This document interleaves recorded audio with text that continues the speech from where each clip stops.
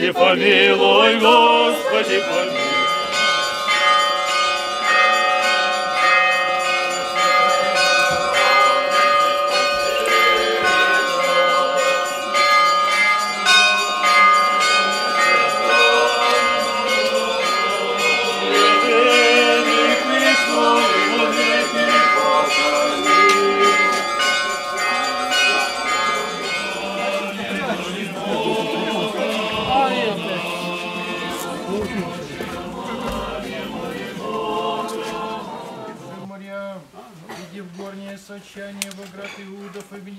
Иди в дом Захарин, и. И яко услышали совет целованием Марина. Взыграся, владенец радыш в очевидья, и исполнися духа свят Елисавет, и возопи гласом велим рече. Благословена ты в женах, и благословен плод чрева твоего. И откуда мне сие да прииди мати Господа моего ко мне, все бы яко быть глаз целования твоего уши моей. Взыграсим младенец радостями в чреве моем, и блаженно верующая, яко будет совершение, глаголом имеет от Господа. И речи моя, величит душа моя Господа, и Господу помолим сердце. Житие поживем во всяком благочестии и чистоте. Господи, помилуй, Господи, помилуй, Господи, помилуй. В мире, здравии, спасении, посещении, прощении и оставлении грехов рабов Божьих, братьев, прихожан, святого храма сего. правдам нашим, и пробавит благодать свою чтущимся честное имя Твое, и с верою, любовью поклоняйся чудотворному образу Твоему, несть мы достойны от Него помилования быть. Аще не Ты умилостивище Его во нас, Владычица, яко вся Тебе от Него возможно суть. Сего ради к Тебе припегаем, я как несомнение и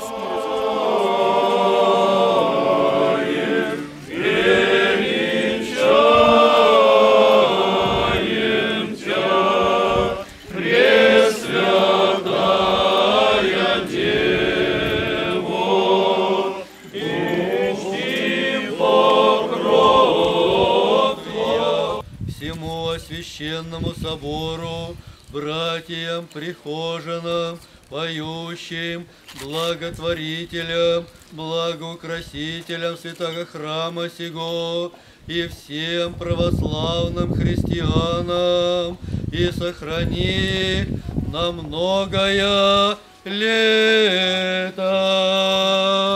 Многое лето, Богородицы,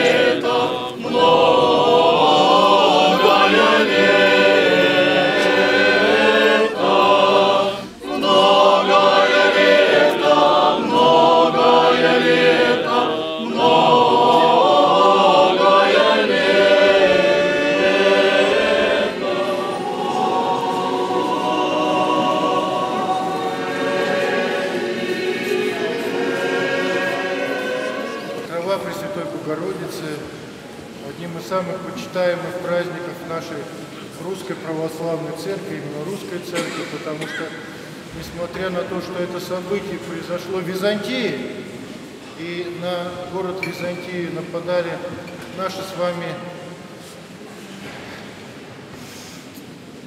Предки. предки, да, вот, славянские племена, но они были тогда очень ну, языческие, очень жестокие и коварные. Потом они были просвещены светом евангельской Христовой истины, и народ славянский стал совершенно другой. А это они были довольно-таки жестокие варвары и как, как варяги, как норманы, также истребляли все и вся вокруг.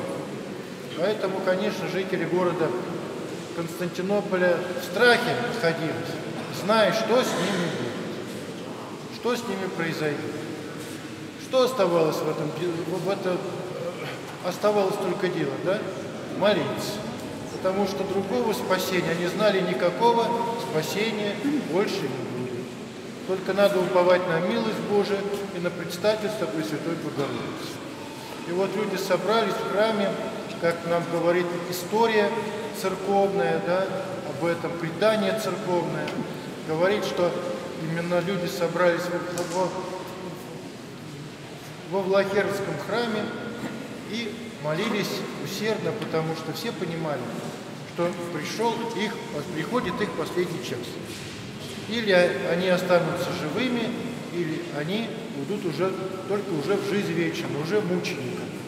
Конечно, человеческая натура такая, она, она прекрасно понимает, даже самый верующий человек, ему тоже, конечно, очень тяжело расставаться с жизнью, и мы знаем, что как святые люди именно ждали этого момента с трепетом. Но страх был другой. Страх, он был именно предстать перед Богом не готовым. Можно разделить на три таких категории. Вот таких людей, которые идут со страхом в жизнь будущего века, с страхом таким, что я не готов, Господи, пред Тобой. Другие боятся, конечно, именно из, из-за своих, вот из-за, из-за своей, из-за своей такой жизни. Вот. Но, но, по крайней, но, но в то же время они тоже каются, просят прощения.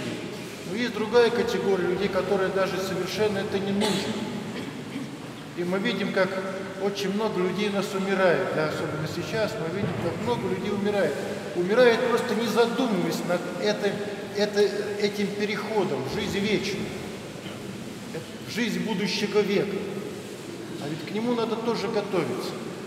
И апостол Павел так и говорит, что именно что войти в Царство Небесное, это не, это не пища питье, Царство Небесное, да, а любовь и радость в Духе Святом.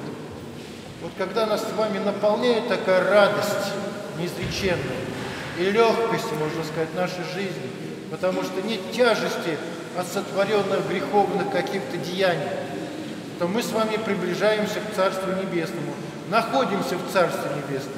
Если этого нет, то мы находимся в другом царстве, в царстве тьмы, страха и ужаса.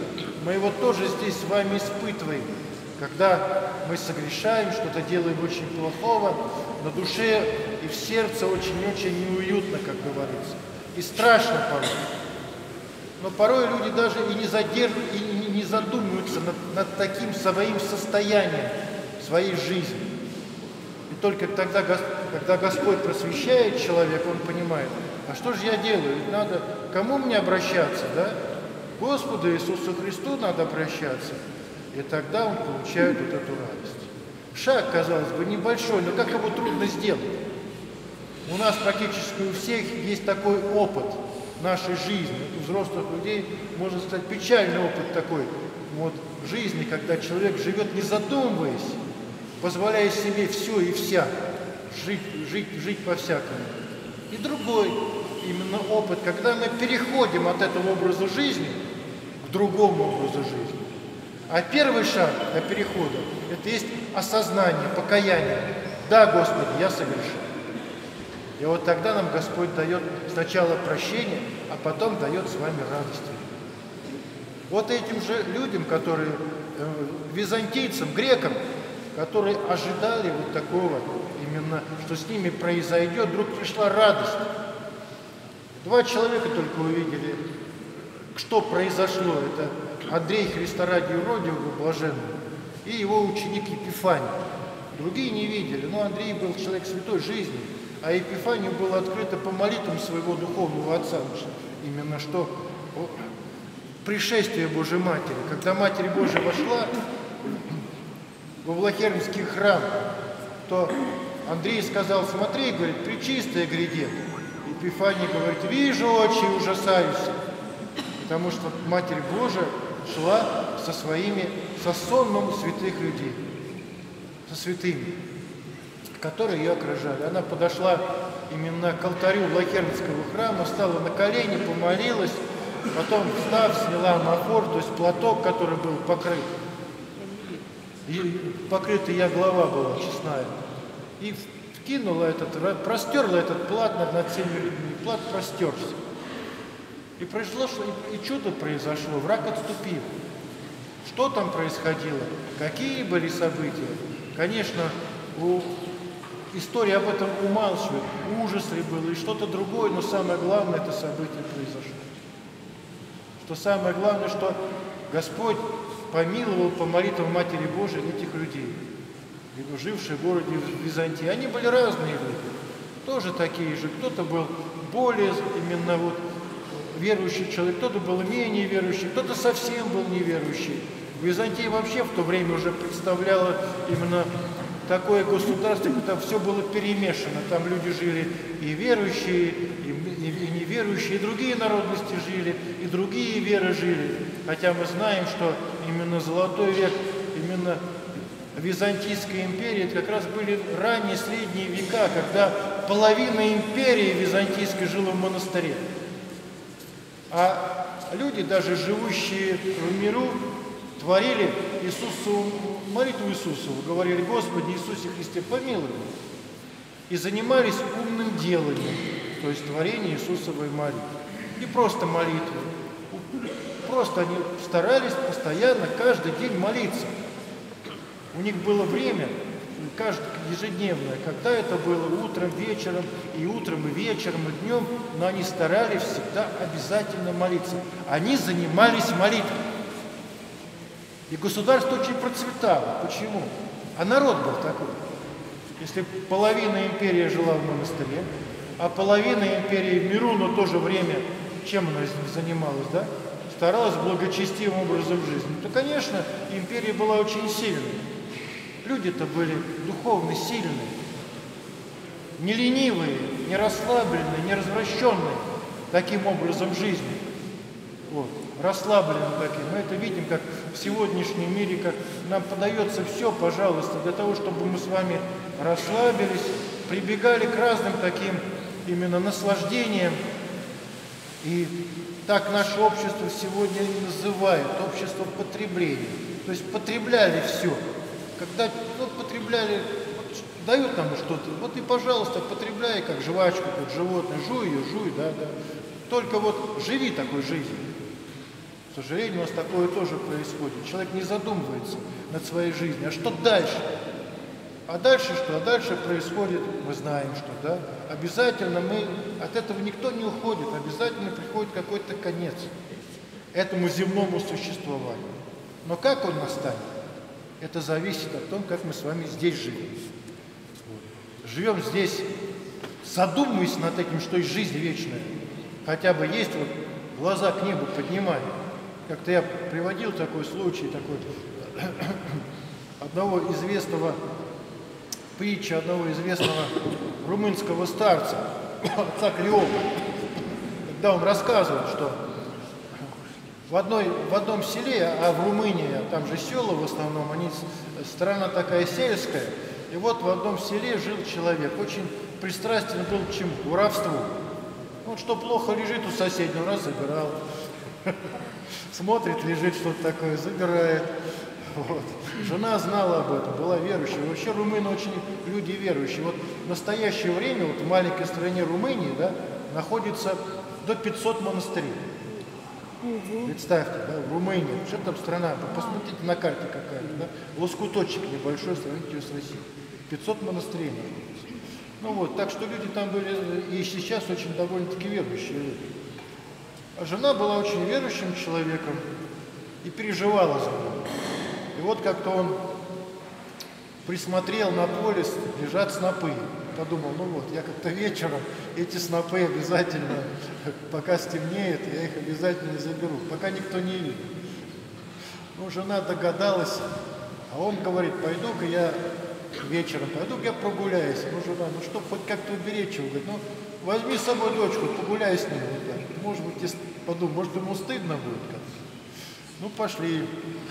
Он подходит к этим снопам, посмотрел направо, посмотрел налево.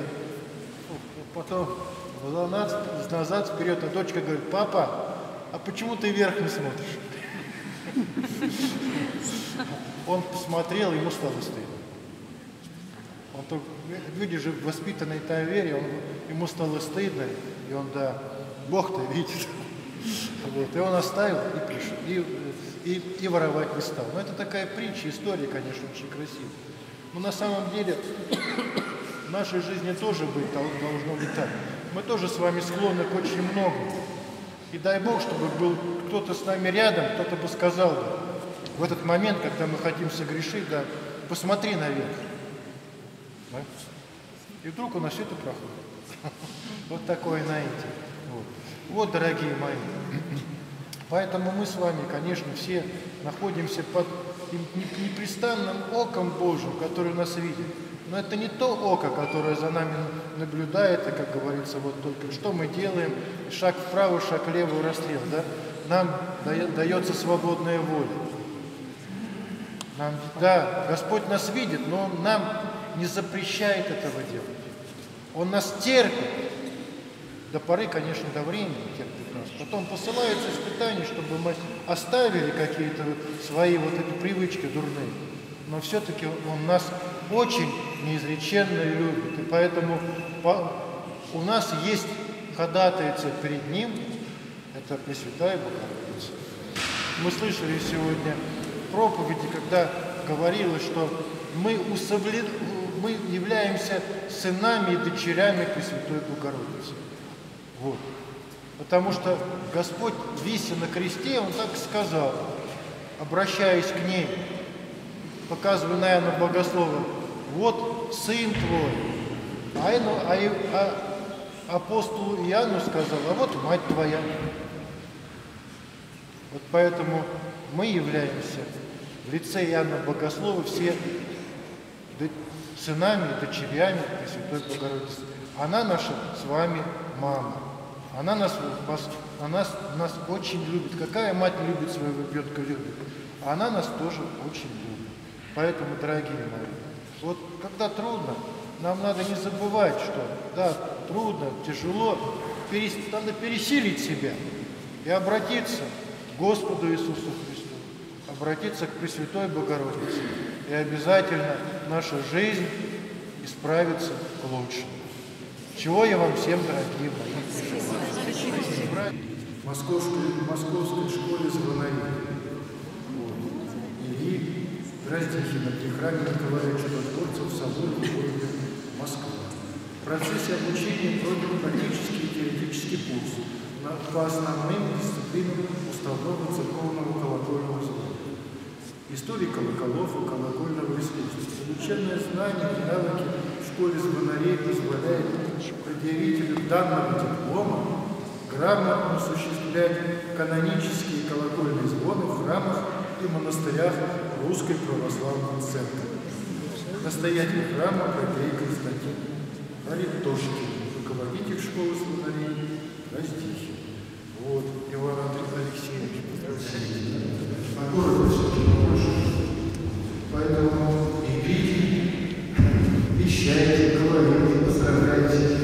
шоколадки своему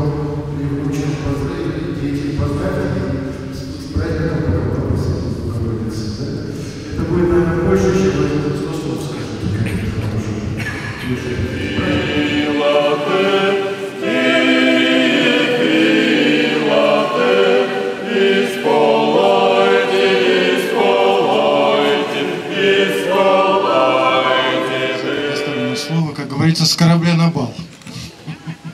Я рад очень вас поздравить с сегодняшним праздником Покрова Пресвятой Богородицы.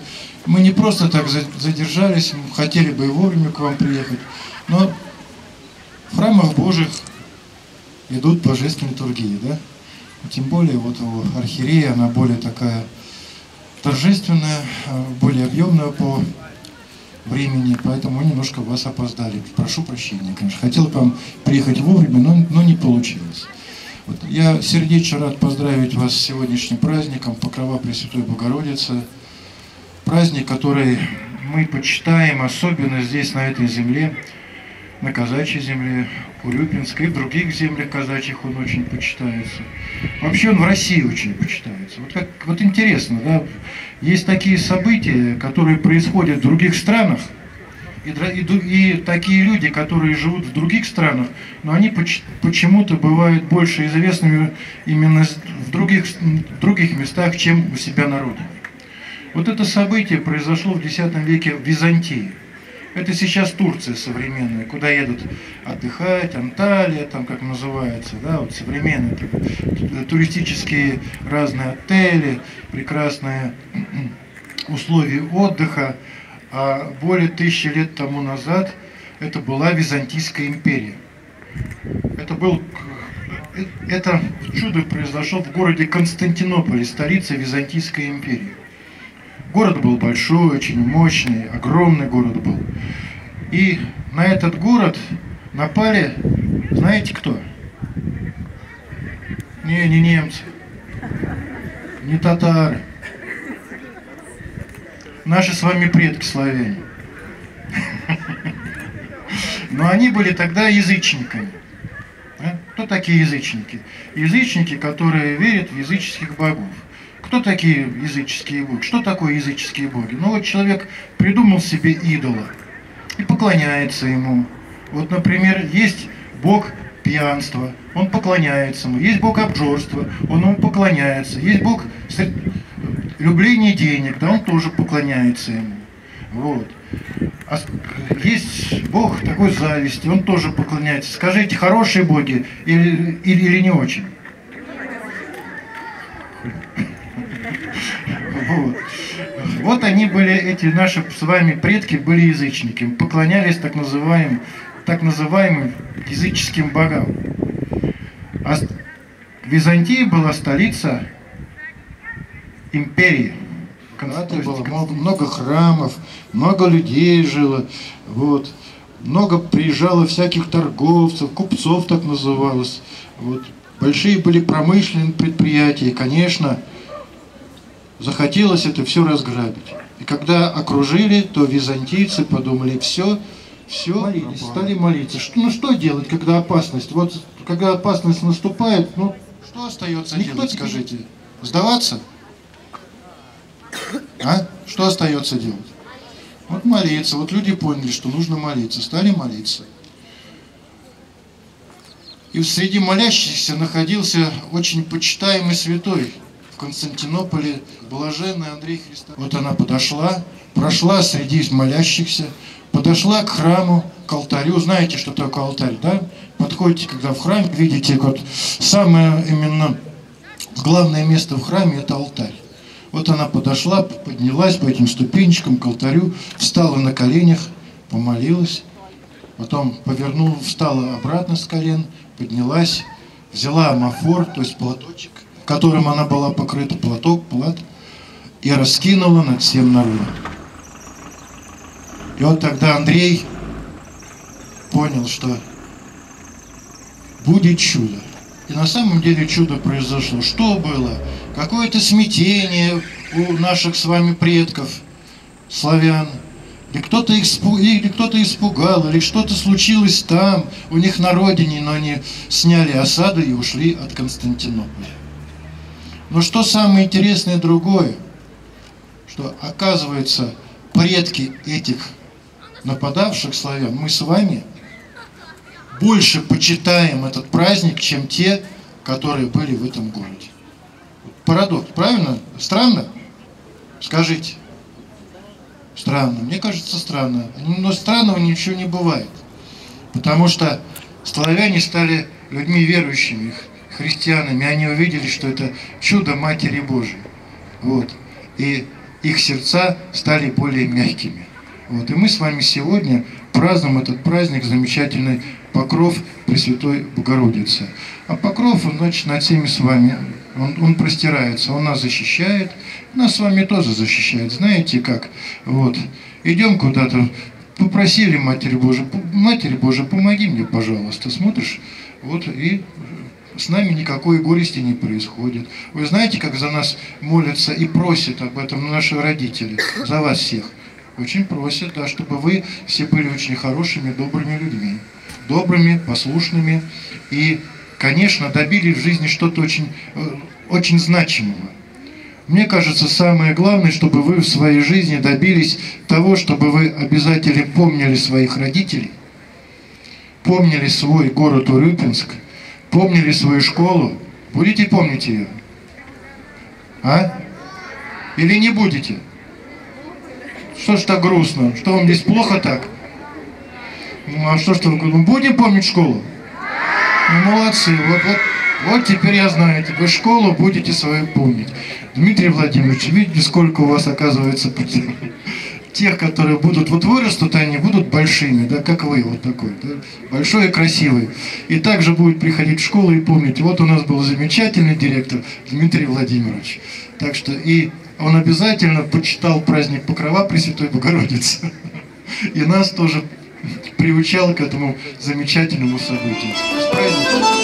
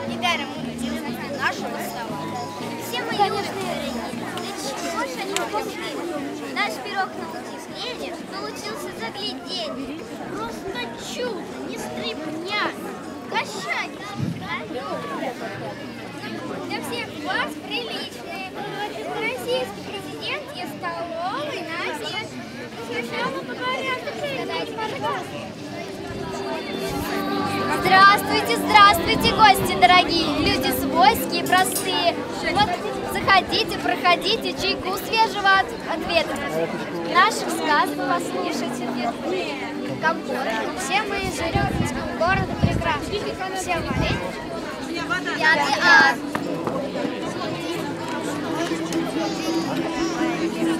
Обязали ложку все.